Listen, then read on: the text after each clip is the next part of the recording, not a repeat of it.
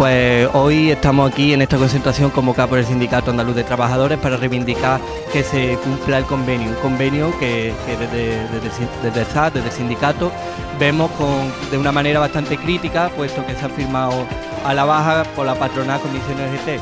Sin embargo, eh, pues bueno, nos encontramos con la situación de que no solo el convenio es malo, sino que además no se cumple.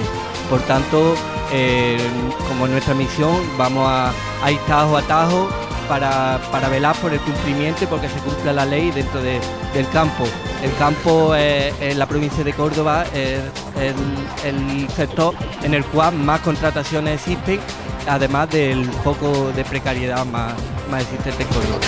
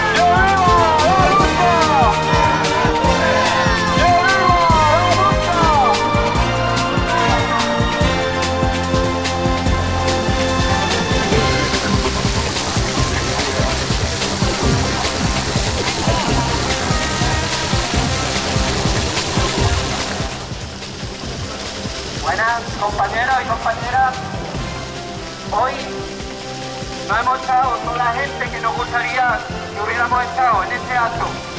Sin embargo, hemos mandado un mensaje claro, y es que el Sindicato Andaluz de Trabajadores va a estar pendiente porque el convenio se respete.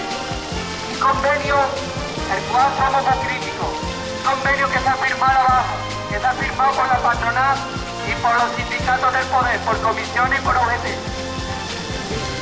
Sin embargo, es lo que tenemos. Como ha dicho el compañero, tenemos que, nos queda, solo nos queda velar porque se respete la ley. Porque no veamos, como se ha visto todos los años en Palma del Río, gente trabajando por la peonal, gente trabajando por 30 euros, trabajando por 20 euros de jornada. Eso tenemos que hacer, tenemos que ir a y tenemos que velar porque eso no pase. Somos pocos, pero sabemos, está, conoce el sindicalismo que es la bicortagoria. Luchar contra un enemigo que es mucho más grande. Levantarse a las 6 de la mañana, repartir convenios y a las 2 y media estar en faena luchar contra enemigos y ganarle la partida. Eso Trabajadores. Por tanto, ahora mismo, después de este acto, lo único que nos queda, lo que nos queda para que la próxima vez no seamos 50 o 100, sino que seamos muchos más, es recorriendo estado por estado, lo que nosotros no sabemos.